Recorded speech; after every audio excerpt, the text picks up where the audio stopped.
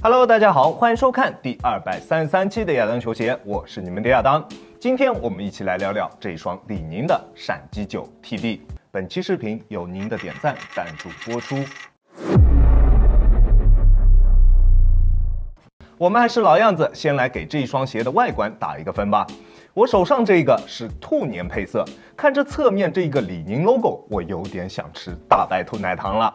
奶白色的鞋面加以少许的蓝色、红色以及黑色作为点缀，纯纯就是一个大白兔联名配色。中底改为了全掌的 Lightform Plus，鞋面使用的是比较普通的工程网布，在用料方面是闪击九三兄弟里面最差的，但是它在实战方面的表现却并不是垫底。在大底方面，闪击九的三个版本都是使用的相同纹路，但是只有这一双 TD 版本使用了 Tough Rub 耐磨橡胶。虽然在抓地方面并没有明显的提升，但是在耐磨方面的提升是巨大的。大底的橡胶硬度在硬度计的测试下，读数在七十左右，用来进行外场的实战绝对没有任何问题，并且较为合适的价格，即使是用来打水泥地也完全不虚。在大底方面的变化其实并不是很大，就是在橡胶的硬度方面做出了提升。而在中底方面的变化就非常大了。首先最明显的一点就是在中底材料上面的变化，中底的缓震材料改为了全掌的 Lightform Plus。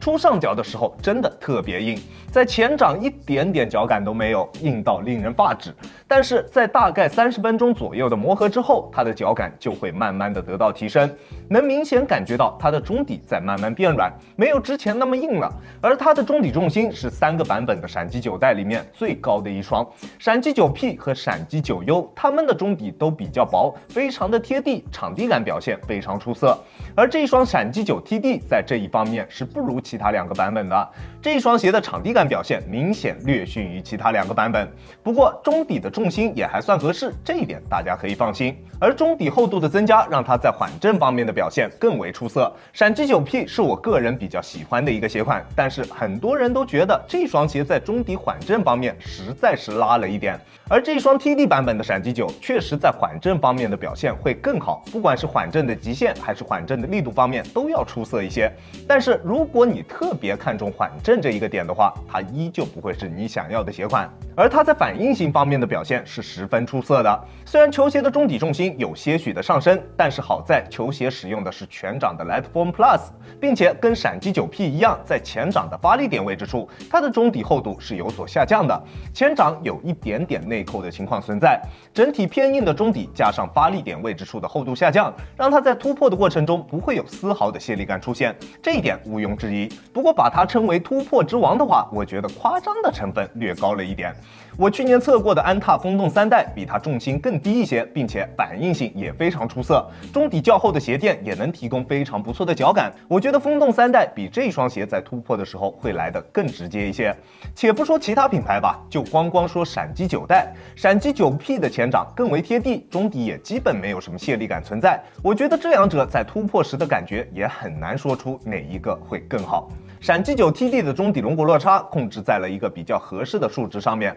穿上脚之后没有明显的前高后低或者前低后高的感觉，对于运动习惯的适配还是不错的。不管你习惯使用前掌跑动还是全掌跑动，这一双鞋都可以选择。球鞋的中底过渡也非常流畅，非常丝滑，在进行全场的实战过程中，跑动的感觉是非常棒的。而在鞋面方面，它的包裹表现是闪击九三兄弟里面最为出色的一双。球鞋的鞋楦依旧没有什么变化，对于脚型的。适配还是比较广的，但是最前端的鞋带孔明显比闪击九 P 更为靠前，在后方也使用了四对动态鞋带孔，非常容易系紧。并且在系紧之后，能够得到非常优秀并且非常舒适的包裹体验。脚在鞋内的每一个位置都能够被很好的包裹住，几乎没有什么多余的空间。并且在动态锁定方面也完全没有问题。在做侧向蹬地或者变向动作的时候，脚在鞋内基本不会出现位移。在急停急起的时候，也完全不会出现顶脚趾或者是掉跟的现象。而且将中底内侧的 TPU 取消之后，这一双鞋在变向的时候也不会出现那种中底 TPU 硌脚的不适感。